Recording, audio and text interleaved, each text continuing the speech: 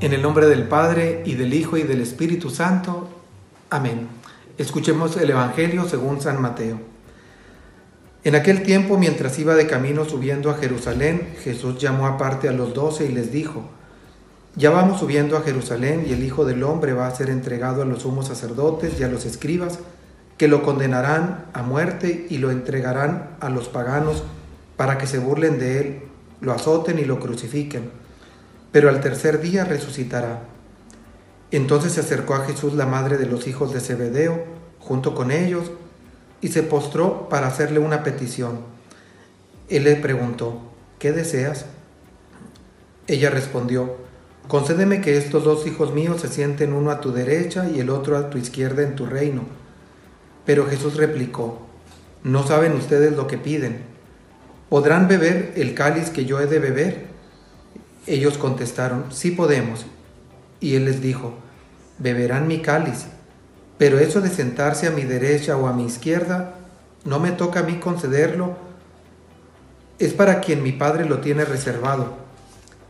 Al oír aquello, los otros diez discípulos se indignaron contra los dos hermanos, pero Jesús los llamó y les dijo, ya saben que los jefes de los pueblos los tiranizan y que los grandes los oprimen, que no sea así entre ustedes el que quiera ser grande entre ustedes, que sea el que lo sirva, y el que quiera ser primero, que sea su esclavo.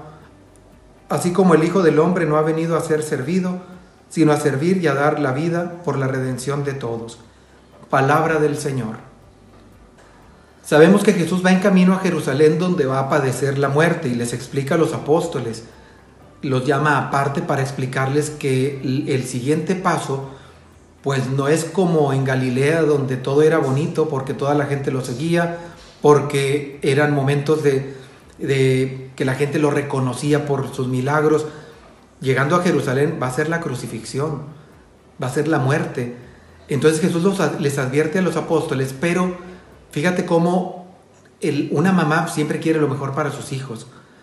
Y esta mamá de los hijos de Zebedeo le pide, dice que se postra, o sea, una actitud muy reverente, muy, con mucha reverencia, pero lo que le pide, pues es algo, pues, eh, un tanto vano. Quiero que mis hijos estén a un lado de ti, en el reino. Eh, Jesús dice, bueno, lo que tienes que anhelar no es un lugar.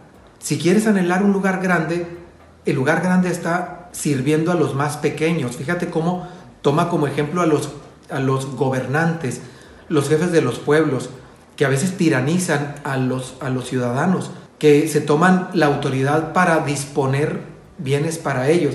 Y dice el Señor, ustedes no sean así, ustedes sirvan, el que quiera ser el primero, que sea el último. Yo creo que este tiempo de cuaresma tenemos que disponerlo también para servir. Ya hemos dicho, sí, ayuno, oración, eh, penitencia, limosna, pero también valdría la pena ponernos a servir a la gente más sencilla, Tomemos esto como ejemplo, vayamos con un enfermo, vayamos con una persona que, tiene una necesidad especial y pongámonos a ayudarle. Estás distanciado de un familiar que está enfermito, ve y hazle un favor, que, que no se nos pase la cuaresma sin ponernos al servicio de los hermanos, porque es ahí donde el Señor va a reconocer nuestra grandeza. Es en la atención a los más necesitados donde el Señor nos hace grandes que nos pongamos a servir a los demás.